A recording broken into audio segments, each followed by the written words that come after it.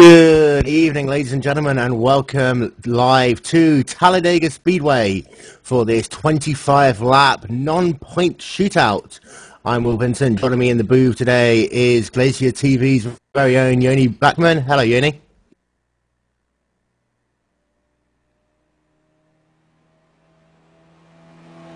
Oh yeah, we've done two endurance races so far, on the road, one on the Roval, and now it's to the ovals, 25 laps for Talladega. Um, this is going to be a pretty interesting race for this VLR um, B-Class series. Indeed it will, and uh, I've never actually uh, had a chance to see nationwide cars going at it in uh, Talladega. I've also, also uh, often uh, used to see trucks in here, so um, especially with the new aero model, it's, uh, it's going to be interesting to see how the drafting works around here. Oh yeah, and if you haven't seen um, uh, plate race on iRacing the last couple of weeks, then the two-car tandem has arrived. Um, so a completely different style of racing as in real life. Um, so we're currently having a look through qualifying at the moment. Lap times are going to be coming on very soon. We're going to take a little bit of a look in a second at the number 26 machine of Bob Beer, who's just starting his first lap as we speak, running amongst the wall for the first of two qualifying laps. Drivers going to do that just so they can get as much fuel burn and also get maximum speed coming onto their flying lap. Indeed, and it, it, it's actually, um, for those of you who are unfamiliar with uh, super speedway racing, it's actually um, quite surprising how long it takes, even though these cars are uh, extremely powerful, it's like near 600 horsepower, it still takes a good two laps to get fully up to pace, and uh, uh, even the um, even uh, burning a fuel a bit and uh, getting the tires properly up to temperature means uh, quite a bit in, in the uh, lap times. We're talking about thousandths of a second that makes the difference. Yeah, and as you see, the times will start coming onto your screen momentarily. Um, most of these times are not going to be representative of what the final grid is. As you see Bob now um, coming down to that low line, going to run what's called a qualifying line for this money lap, holding it down to the yellow line, down the corners, and then up to the middle lane down the back straightaway. Get himself a nice turning arc as he goes into turn three. See the car starting to move to the left. You want minimal steering input here so you lose as little speed as possible. And then you'll see him drive the car off the corner going out of four Yep, and uh, I'm pretty sure we're gonna see cars going. Well, I'm not sure actually sure if uh, if the series has a demand of not going below the yellow line, but uh, I've seen couple, quite a couple of times people going below the yellow line just to try to in the very last lap just to try to save that one extra thousandth of a second. But uh, th there's actually um, very very um, big difference between uh, the the two lines. If you cut, if, if you just try to stay two inside, if you if you get to the apron in the mid corner, that's a good thing. But if you try to force your car to stay in the very inside of the track to, for too long, you lose like one extra mile per hour, and um, that tends to give you quite a bit of plus around the racetrack. Oh yeah, one mile an hour on a track that's flat out all the way around, especially with restrictor plates, so it takes so long to build that speed back up is worth a lot. As you see, Bob currently sitting in the second position with a 53.679 lap time. Davis Hessler sets the fastest time so far, 53.469 in the number 16 machine. Yep, the order is currently running in the ticker for you guys, so um, currently following Ryan Wells here, he's on a fast lap.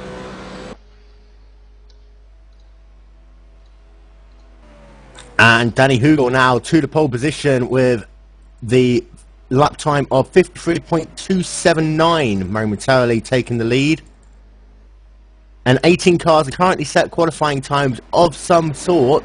A couple of drivers are still about to set their flying laps. We expect faster times from Russell Knobloch, uh, Matthew Spangler and Ryan Wells. Yeah, and it seems that uh, they only get uh, one full flying lap because uh, every car that uh, has crossed the finish line has uh, pretty much hit the brakes right after the uh, right after they get got across the finish line. As did Ryan Wells. currently in eighth position. So we're qualifying over. The field set for this race will be Danny Hugel lining up on the inside of row number one with a qualifying time 3.279. Behind him you have David Hessler with a 53.4 and then Bob Breer lines up in row number two alongside Scott Eckrich. Josh Brimcombe and Jared H. Torres lines up in row number three. Row number four will be Camilla Keister and Ryan Wells. Tony Scapali and Corey Card in row number five. Joe Foote and Brandon E. Williams lines up in row number six. Hunter Carl Odney, I think, um, and Sam Adams line number seven. Ken Foster, Blake Bryant, row number eight. Russell Knock and Matthew Spangler, row number nine, and Christopher Shayla, John Becker, David Fawcett, Sam Watson, and Ty France didn't set a qualifying time, line up in positions 19 through 23.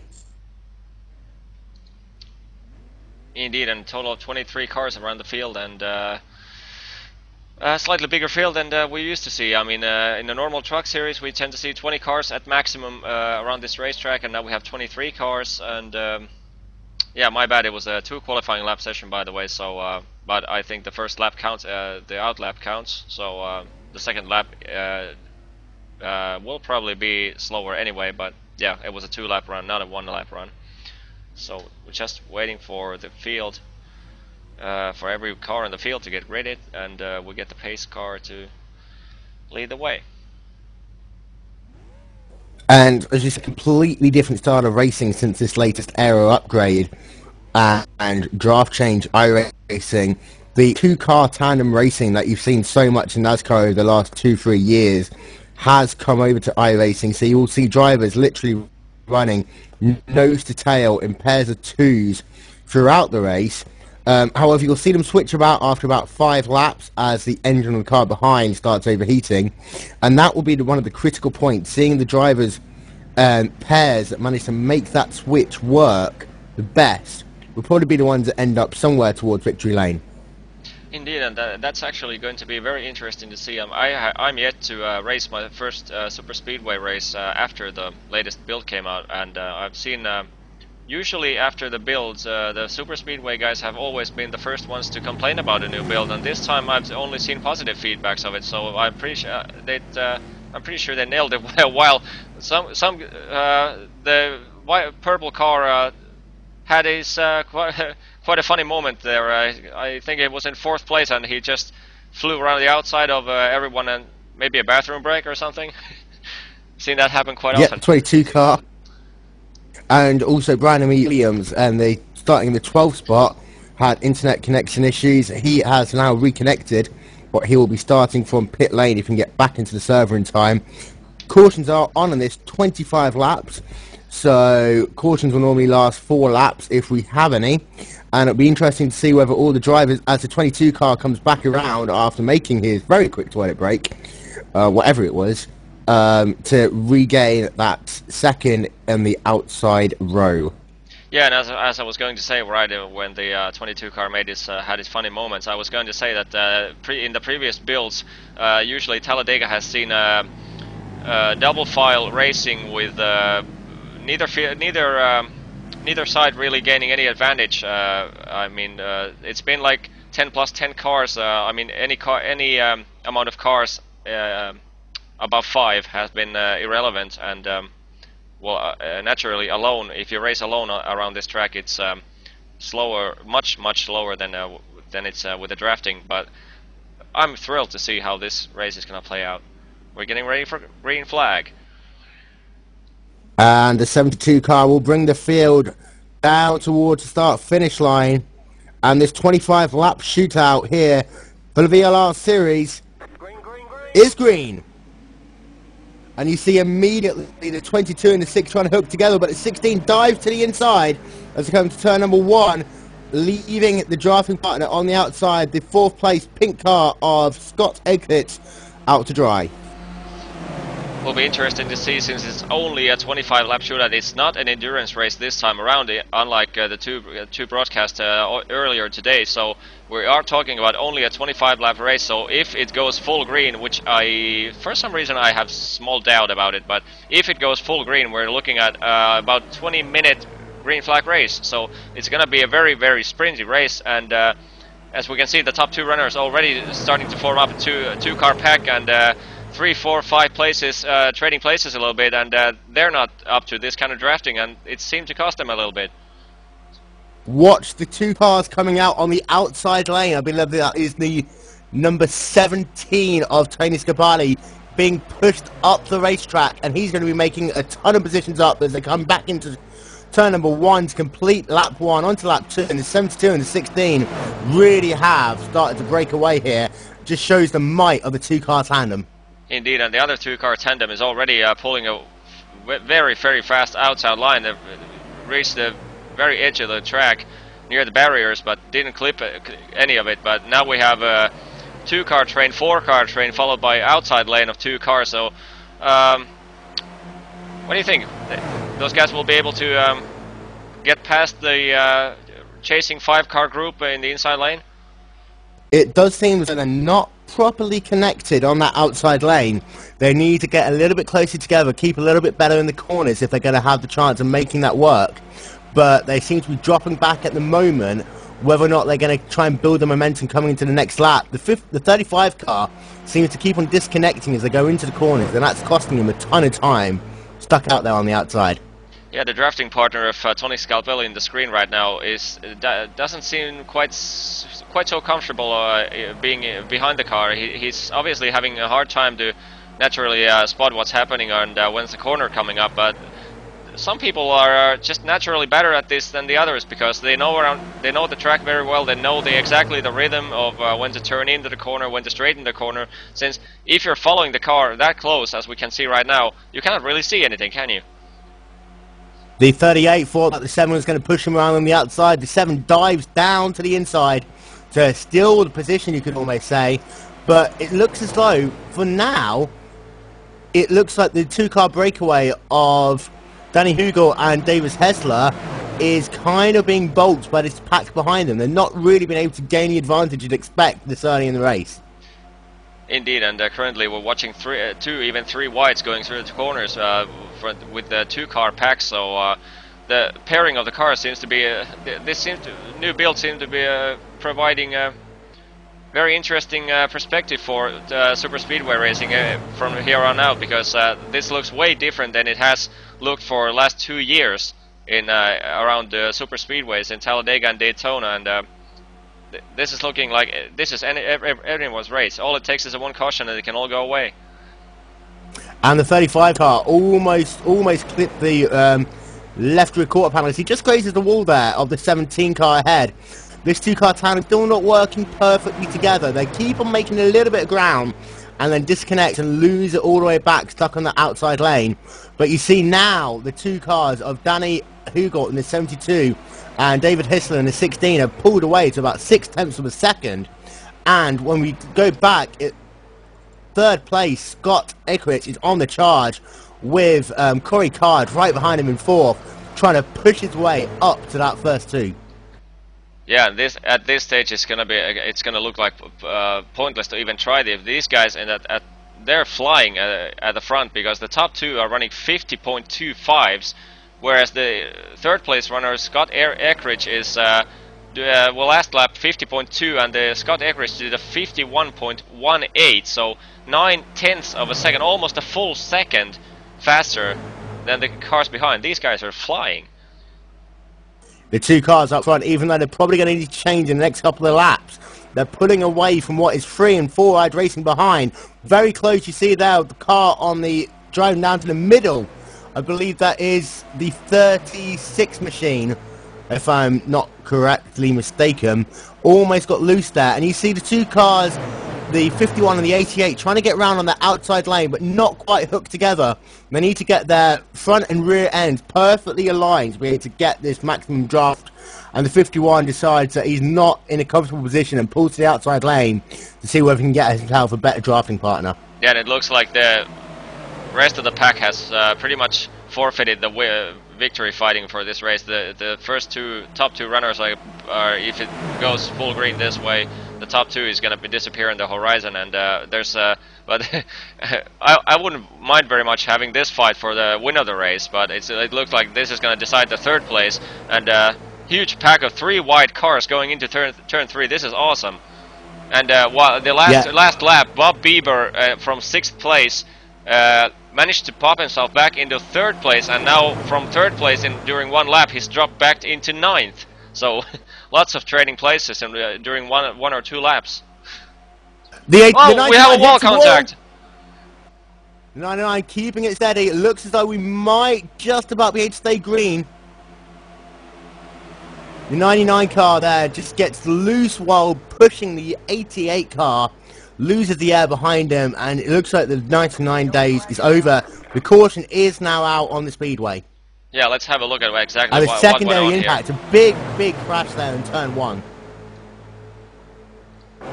So we're currently with John Becker, who, uh, who was uh, involved in a contact, and uh, he well, he just he's following the leader of the pack, but did he get a push push from behind or something? Because he that was a weird place to lose it uh, since he was uh, behind the pack leader. If he, if he had been the pack leader, I would understand that, but that looked pretty weird.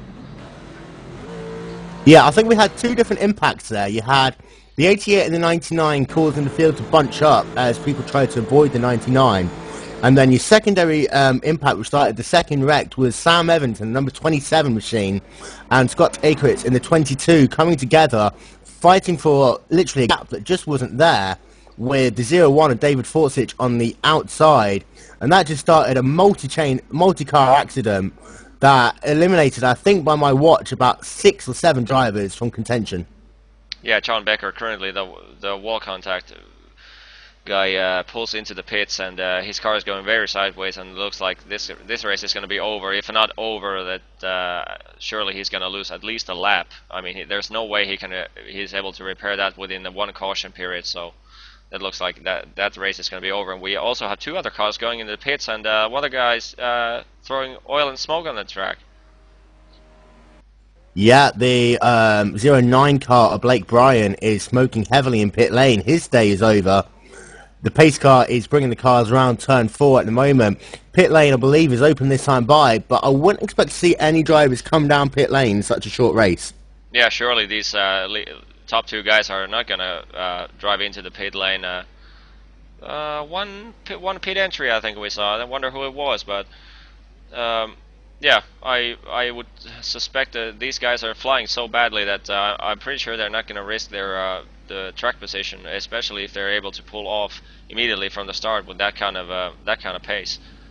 I'm not actually. I wonder if you will had the privilege of uh, actually testing it, uh, the super speedways uh, after the last build. Uh, how how the tires are going to look if you if you um, go with the old tires against fresh tires. I mean, restart is going to be uh, a bit of a problem for old tire runners, but uh, in terms of uh, first two or three lap uh, race pace, how is it going to look?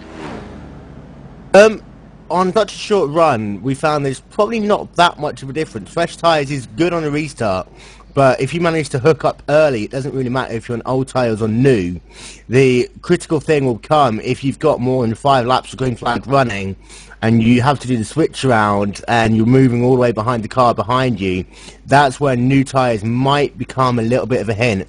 And we did see a number of cars head down pit lane, the 22, the 35, the 26, the 54, 01, the 27, 02, and the 09, all down pit lane. Yeah, I wonder if uh, there's uh, some minor uh, repairs to be done, or uh, whether they're just taking fresh tires and uh, hoping to launch from the behind the pack right after the green flag flies. And uh, currently, we're in um, on lap 10 of the 25 lap race, so this is a very very short sprint race. And Danny Hugel, currently number 72 car, is leading the pack with Davis Hessler, his teammate, obviously. Um, running in second place, and uh, these guys were uh, just escaping the pack uh, second a lap. So um, ex ex don't expect anything less from these two once the green flag flies. Um, Uh, Camila Keister uh, in third place at the moment. Corey Card in uh, fourth. Jared H. Torres completes the top five. And for Danny and Davies, caution actually came at just the right time because I believe they were about to do the switch over, which would have cost them about a second, second and a half. Obviously, it wouldn't have changed the complexion of the race, but the last thing they'd want to do is get a little bit more bogged down towards that pack as the caution was about to fly. But for these two, it means that the 16 can again tuck right at 72 on the restart and push them back into the distance.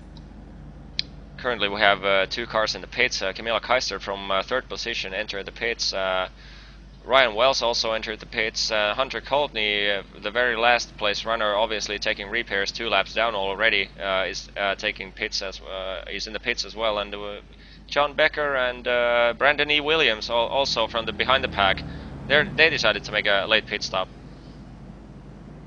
So we're working lap number 11 or 25 at the moment here at Talladega Super Speedway. And it looks like we're going to be going green, not this time, but next time by. So that'll be at the end of lap number 12. So it's almost as though you've had your first half of the race. You've got to figure out who you can run with. And now time to do another 12 and see if you can find yourself a dancing partner.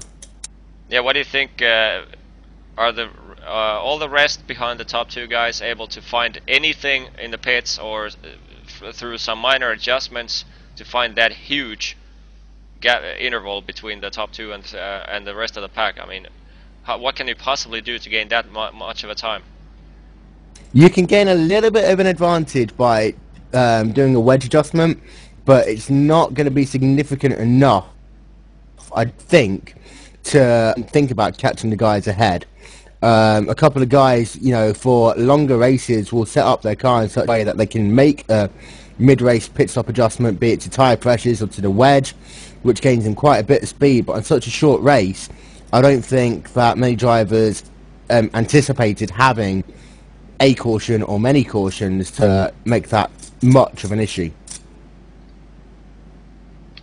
So one to green about to come up and uh, the double file is going to form up again as we see a pace car in any second going past the start and finish line. They get one to green so the cars will form up in um, double file for the restart. And um, like Will said it's 50% uh, of the race done and uh, time to do the remaining half. And this is where communication will really come in useful.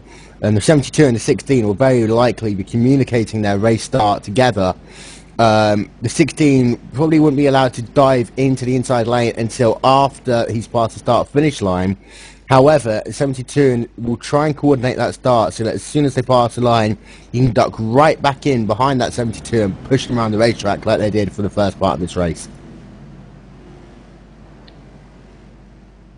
So you're currently watching uh, Victory Lane Racing League, uh, first race of the season, but uh, uh unlike the normal first races of the season, uh, you cannot score championship points for this one. This is basically just a kickoff round, uh, uh like a welcoming round for the uh, new nationwide league. So uh, you don't score any championship points for this race, but it, these guys still go right at it. They they don't give anything for free. Almost like their version of the Bud Shootout, except you don't win a million dollars. yeah, but uh, winning this race uh, means a million dollars to these guys. So, so uh, th this week uh, it's going to be this 25 lap Dega uh, race with a non-point scoring uh, event. but next week we're going to have the first official race of the league underway, which is going to be Daytona Oval, another super speedway, 35 lap lapper that time around. Then uh, next week we're gonna be at, at, Atlanta for 45 laps. Then Michigan for 25 laps next week. So very fast ovals in the first four races of the season. And very short races as well. So these guys have got to be on it from the word go. No worrying about you know tire wear or fuel economy or strategy. It's just a case of get out there and race. So pace car just about to pull into the pit lane and we're gonna get the remaining half of the race underway and we're just waiting for that green flag to pop up and expect Danny Hugel and Davis Hessler just make a blistering start and uh, just disappear again or will they just spin a little bit too much and uh, lose it all the way? We're just about to find out look for that 16 car to go right back into the inside line. You should see him do so immediately as they come back to green flag racing here at Talladega. David Hessler comes right back into the inside lane. You see a slow car down on the apron. Whether he's just letting the field go by him or not, I don't know. But three wide racing behind. And it's just going to be a matter of time before Hugel and Hessler hook back up, as they do now, and start to put away. Yeah, and uh, Hugo, Hugo just did an insane start. I mean, he just did like three or four car lengths uh, as soon as the green flag came out. I mean, that was that was like a picture perfect start from uh, Danny Hugo in the in the front of the field. And uh, unlike in the last last uh, restart, now the three, four, five positioning cars uh, are not that far behind. They still got the draft. Yeah, you see a little bit of free wide racing going further on back in that pack couple of people trying to hook up two by um, two by two, see if they can gain the advantage. But so far, with the exception of Hugel and um, Hessler, they're all running single file down the inside line.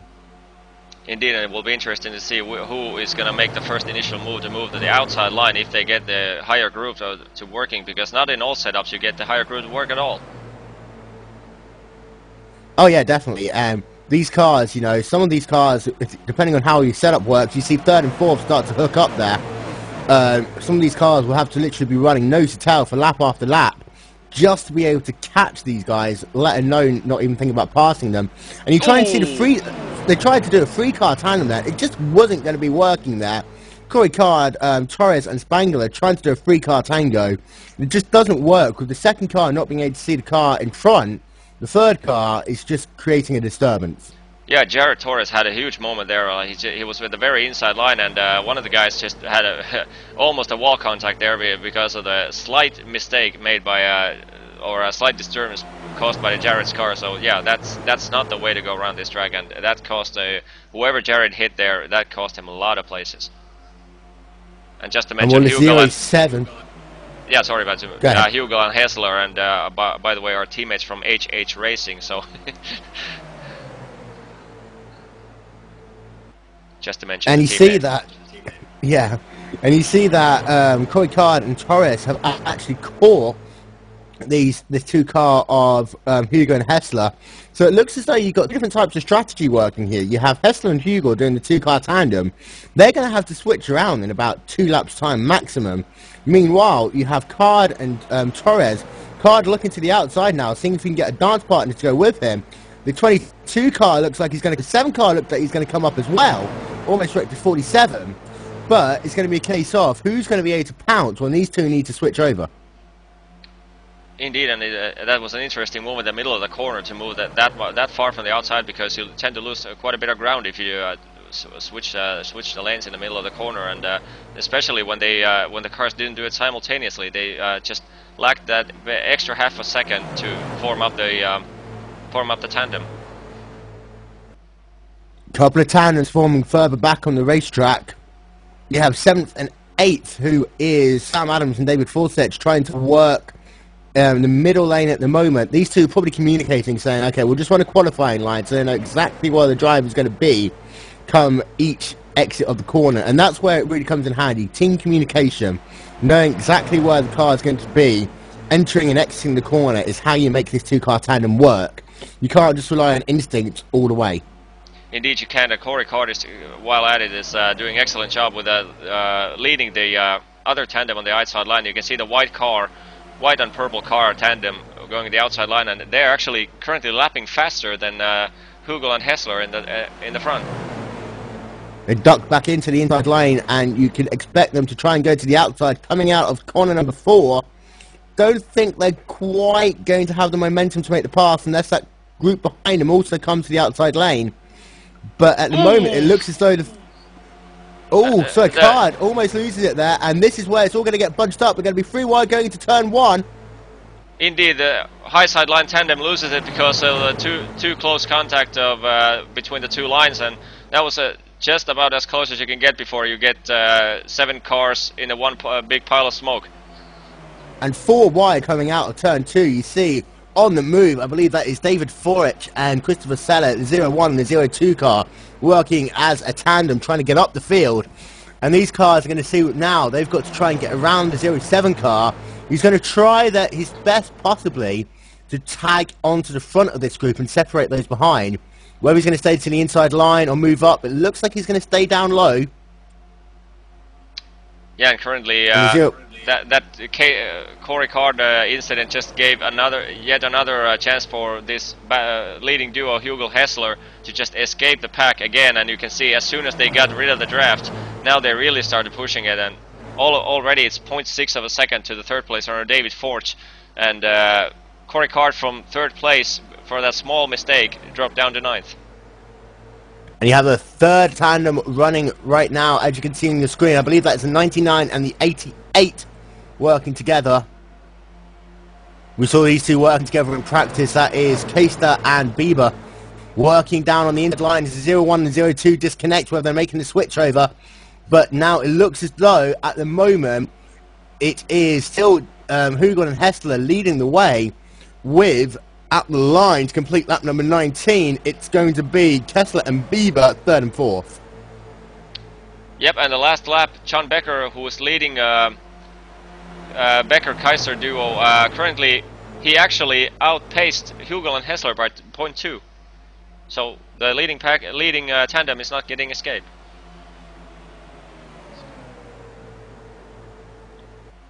So let's see whether these tandems can actually close down Hessler and Hugel. It's, chances are these two are going to have to make a switch at some point soon.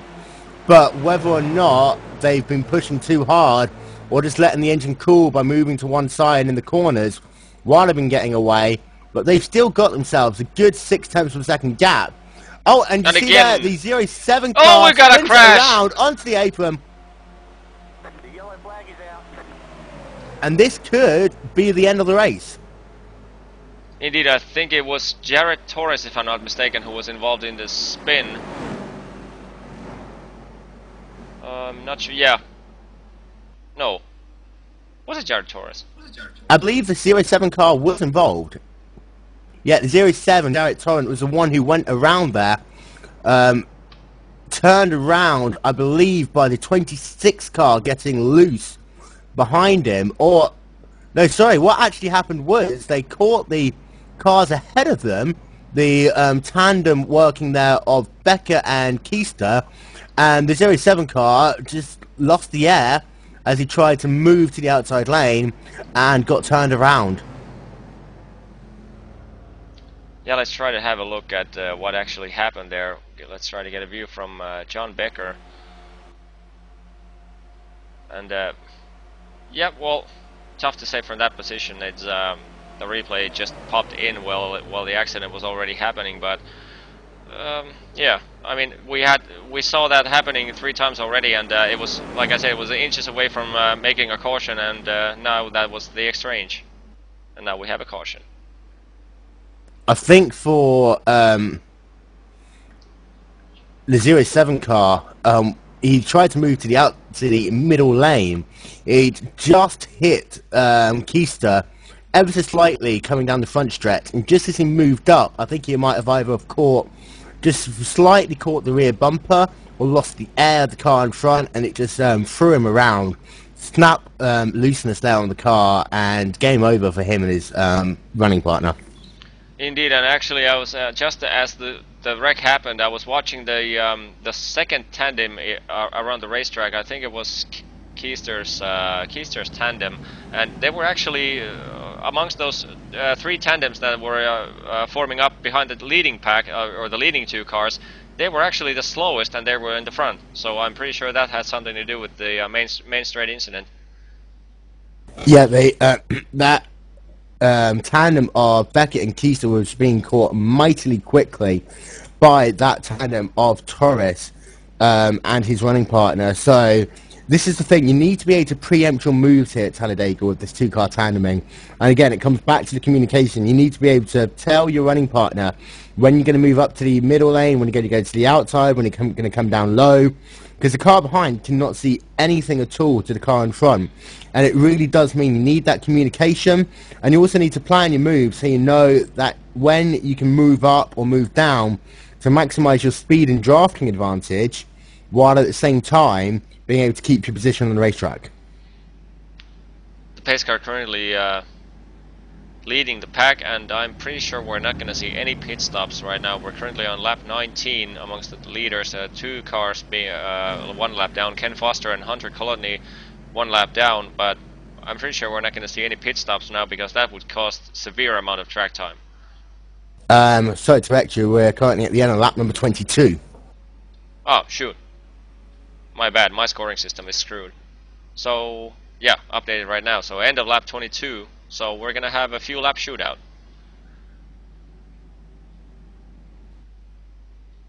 And hopefully we'll get the at least a two to go sign this time by. I'm not sure we're going to get the one to go. Yeah, it would be uh, more pleasant for the viewers to see one to go right now. But uh, either way, I think it's gonna be uh, it's gonna be a classic Talladega thriller. Five lap, less than five laps, and uh, everyone piled in behind the pace car. Um, by my reckoning, we're going to literally get a white and a checkered. We're on lap 23 now. Unless they have, um, and it was coming down from trackside that they didn't get the two to go this time by, so that will be the end of the race if um, our scoring is correct.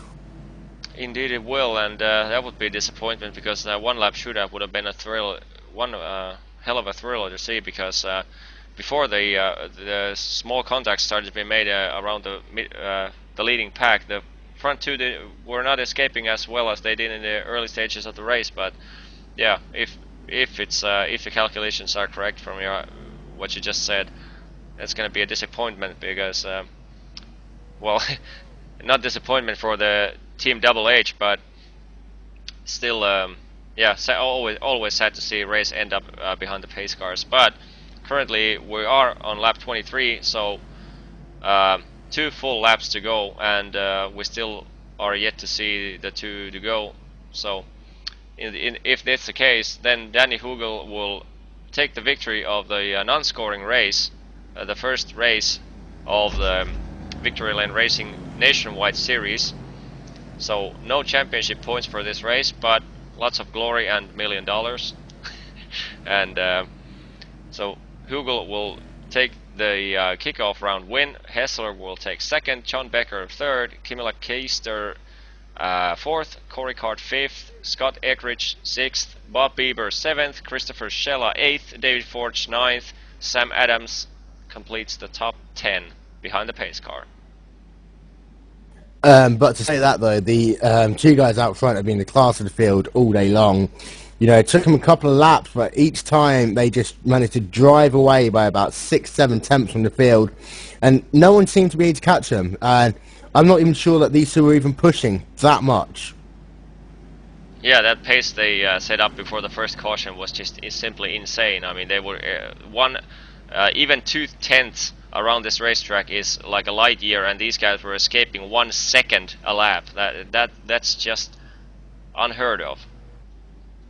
So just to confirm, the light's still on the pace car, so you would still get two more laps of caution here, which is a bit strange because um, it seemed like they caught the pace car pretty quickly, and I would have presumed pit lane would have been open rather quickly. So it's unfortunate that the cautions lasted this long, um, but again, it doesn't detract from the fact that Hugon and Hessler really were the um, class of the field tonight. Indeed, that was a almost looked like a different car class uh, involved in the top um, with the top two guys, but still, uh, yeah, I have to say that these guys have done an awesome job of setting the car up and uh, must have taken like hundreds of laps of practice because uh, like cutting, like I said in the beginning of the race, cutting hundreds and thousands of a second from the setup is uh, takes uh, more work than more people most people give these guys credit for. But I mean, getting that much of a gain uh, that's like uh, cannot cannot uh, give enough respect to these guys for setting up those cars. And let's not forget also that we are literally just weeks away from the um, first, um, sorry, from the iRacing um, Daytona 500, which will be held on the brand new laser scanned Daytona race service, which um, now they've rescanned it. It's very much in line with real life. So the bumps are gone, the two-car tandeming is upon us, Uh, you're going to see a lot of that working, especially in the upper split races for the World Tour event, which is being held, I believe, this year over two days.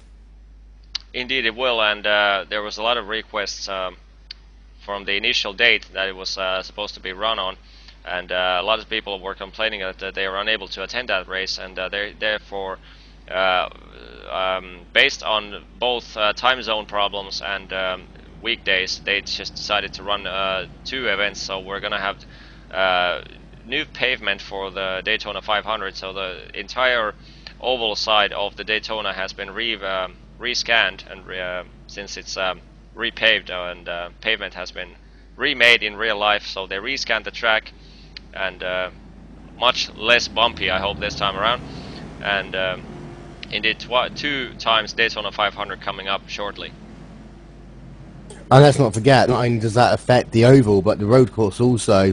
Um, there's um, some night uh, night racing adjustments made to the road course, as well as the changes made to the bus stop chicane.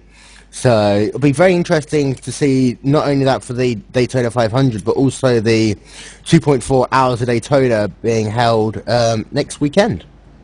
Yes, with uh, uh, I think it's uh, Jetta and Mazda and. Um was there a third car involved? Or was it just Jetta and the Mazda? I think it might be just the Jetta and the Mazda for the Roar before the 24. Yeah, I actually uh, had it um, when the um, fir the first practice servers uh, launched for the um, the Daytona Road event. I actually took the chance to just visit it with the uh, with the Mazda, and uh, it's actually pretty fun to drive. So, if anyone uh, is uh, available at that at that weekday and you enjoy running non-open wheelers. That that's going to be a fun event if you have a if you have a t three four bottles of water and um, some pack of smokes maybe, and all it all it takes for you to survive a 2.4 hours of straight sitting and racing. So that's uh, that's going to be a fun event to see, and uh, not actually sure if uh, it's going to be broadcasted in from um, any broadcasting team, but it will be fun to see. So, if you, oh yeah, definitely. And yeah, if you're not uh, up for racing it, just uh, if there's a broadcast, then for heaven's sake, join and uh, watch it. So the race is now finally official. Danny Hugel wins from David Hessler, who finishes in second. John Becker third. Um, I'm gonna get my scoring box off. Um, Kimula Keister in fourth. Corey Card fifth, um, Scott Eckrich in sixth, Bob Bieber seventh, um, Christopher Scheller in eighth, David Forsage ninth, and Sam Adams rounds up your top ten.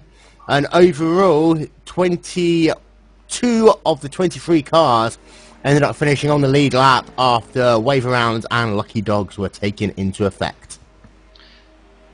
Yeah, it's not a surprise uh, for the 25 lap sprint race at Talladega to see nobody, uh, almost nobody, uh, being lapped down. So, um, yeah, I was actually I was expecting a far more closer battle than what we actually saw, but still, uh, we saw quite a bit of a display of excellent teamwork. I mean, that, the, what the front uh, two guys did uh, in this race is something for uh, future super speedway guys to look after. I mean, that's that's how you're supposed to do it. That's how you gain a ton of time and uh, just stay out of trouble and just make a um, picture perfect and uh, to the precision teamwork. Just make everything perfect. Follow the follow the other guy. Don't don't let the draft break and uh, yeah, and, and especially don't let the guys behind you get the draft. So these guys just did everything exactly like it, they uh, should do, and now they're currently uh, at the start and finish line doing not donuts, but uh, just melting the tires. And you'd have to say Hugon and Hessler favourites going into first points race of the season next week at Daytona. Yeah, without a doubt. And uh, the, uh, like I said, the first four races are going to be in a very fast speedway, so I don't expect nothing less from these two, the two guys in the first four races, if they are going to attend all of them. So don't forget, you've got in the next three weeks you will have the first race of, points race of the season taking place at Daytona International Speedway, which I believe will actually be the new track um, which is being released this coming Tuesday if you are a Super Speedway fanatic. And then following on from that, you would have a race at Atlanta Motor Speedway and then Michigan. And I believe we have a couple of people in the booth for a couple of interviews. So a very hello to you, David, and who is that? Christopher. Hello? Hey, how you guys doing up here? Yeah, not bad. It's been a slightly interesting race. Um, did seem like Hugo and Hessler were the class of the field managing to nail the two-car tandems, but you've had some interesting and entertaining races yourself. Yeah. Definitely say that. Oh yeah, it was definitely an interesting race tonight. And how the two-car tandems work for you? As we saw you guys working together a lot throughout the race in the first and second stint. Yeah, for us, we really um felt like we were able to get hooked up pretty good on the high groove. Only problem we had was that we weren't able to quite switch uh, switch efficiently as we could have. Yeah, it was good. Um, obviously from the beginning, uh, I approached Christopher before the race, asking him if he wanted to join up, join me, and you know it hooks up really well. They did a good job on the drafting. Um, just so much the uh, swapping, we didn't have enough time to practice that. So it was just kind of off and on for us. And when we had to switch, instead of just me dropping behind him, he had to come up. So that kind of threw us off as well. But the drafting is really awesome, and these guys are pretty fun to race with. And just how important is managing to nail that switch to being able to successfully mount a challenge towards the front? Oh, it, it is extremely important. If you don't nail that, you you are dropping back like a rock. We went from fourth, I believe it was, maybe even third, way back to ninth when the caution came out. So it's important that you get out there and you just hook right back up. You can't lose as much speed as we did, or you're just dropping back like a rock. Then you have to work your way back up, and then short racing time, you don't have that much op- option to do it. Uh, And sorry, yeah, I was just about Yeah. to ask that uh, Hugel and Hessler, the top two runners, uh, they did uh, like insanely fast lap times uh, in the beginning of the race. They just disappeared one second a lap to the compared to the rest of the pack. So uh, you guys have anything in your sleeve to uh, catch these guys uh, or match these guys in the um, upcoming uh, official races of the season? Practice. Definitely practice. We just really need to be able to keep our momentum up while we're switching. Besides that, I think we're just about even. But then again, those guys are really fast out there, so I'm not sure. I don't want to toot my own horn here real quick, but we, we, we are pretty fast ourselves, Christopher. I ran a 49.596, the fastest out there. and you're going to Daytona um, next week. Um, I believe you're going to the new version of Daytona, which is released on Tuesday. Um, it's going to be very similar principles, but it's a much narrower track. And we saw some very, very close racing at times, which almost resulted in some big wrecks. Um, you know, Daytona with that much less room. How much import- more important is it to find the space when you need to when you're tandeming up the field?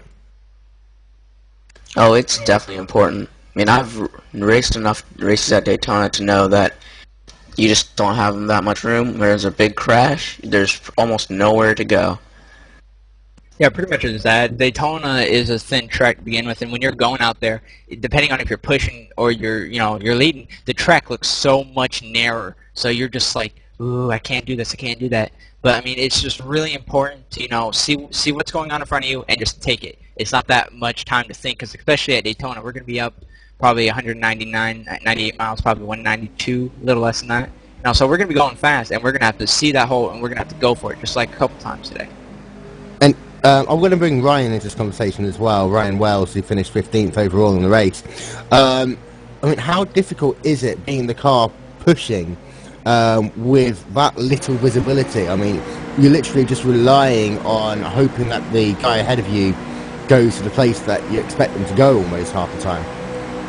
Yeah, it's pretty difficult being in the big pack, and then you have to push the driver, and then when they're everywhere, and then it's pretty difficult. Because then you're you're trying to rely on they you want them to go to that hole, and they go the wrong way, and then you get blocked up because other cars are slower that aren't hooked up. And with that sort of racing, I mean, obviously communication is so important. I mean, do you have to almost try and pre-plan your moves? Like, you know, a corner, a straightaway in advance to kind of hopefully preempt where you're going? Yeah, communication is a big key. Me and my teammate were talking about when we were going to come off the corner, when we were going to go high, but when me and my teammate Brandon, we we were running, but I dropped back to the back to get him, and after that, he started um, blinking. Then we couldn't get hooked up. And then after that, we lost the pack. And uh, as I said to the other guys, going to Daytona for the first points race of the season um, next week. Um, do you expect more of the same? Yeah, I expect more of the same. It's not as bigger of a track, but the racing will be the same, but not as wide. I don't think you're going to get like four wide as they were, but they ended up wrecking. And bring in race winner Danny Hugel into the booth. Congratulations on your win, Danny. And I'm guessing we also have to pay that in part to your teammate Dave Hessler um, from your um, team there. Um, great, great result for you, though. Thank you. We've been definitely working on this Tango thing since it came out about a week ago, and we were able to get a setup perfected pretty good and able to put it together in the race. And how much different are the setups now compared to what they were, you know, two, three weeks ago? You've had a change to the draft, obviously, as well as little bits here and there. But is the same, do the same principles apply, or do you have to go down a completely different route now? You kind of had to change it up because iRacing updated the aerodynamics to where the ride heights were a little bit different, and that was pretty much the main key thing. There's not really anything you can do about the uh, tape and overheating though. And you guys managed so well to um, switch, and you're pulling out at some point, you know, seven, eight, nine tenths of a second a lap. Um, I mean, how did you manage? Um, I mean, what methods of communication were you using to, you know, figure out when to switch, where to switch, at what point to switch, you know, and where you feed back in? Uh, we pretty much agreed that we're going to keep the yellow, you know, yellow line all the way around. And uh, if he got to 300 and the red light came on, we're going to try to swap real quick. But thankfully, the uh, caution played out the way they did, and he was able to cool the engine down and just keep pushing. Uh, looking at the first three weeks of uh, official series, Daytona, Atlanta, Michigan, any uh, personal favorites? Any of you guys? Uh, what of those three? Well, after how we ran at Talladega, I'd say Daytona is definitely a favorite. Uh, Michigan, we seem like we're pretty good at. Atlanta, I think, is definitely going to be the uh, empty one for us. I think we can get through it pretty good. What about you, Ryan? I'd have to say Atlanta. I just all the other tracks, some tracks I just don't get along with, like Texas. Even though Texas and Atlanta are kind of the same, but something about Atlanta I just like.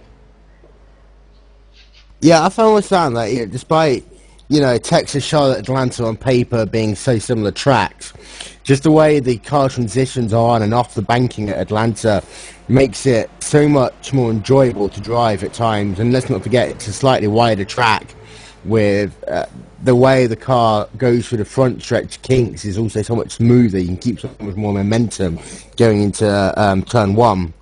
But, I mean, we've got the iRacing um, Daytona 500 just a matter of weeks away. And I'm guessing this race, um, the race next week, even though it's in a different car, surely is going to prove useful for formulating strategies for the biggest NASCAR race of the year. Yeah, I'd definitely say so. It's pretty much the same dynamic of uh, squaring up and going as fast as you can without overheating. Because since the 500, since it's you know, a much longer race, you can't really overheat it as much as you can in this race, or else you won't be able to pull 500 miles.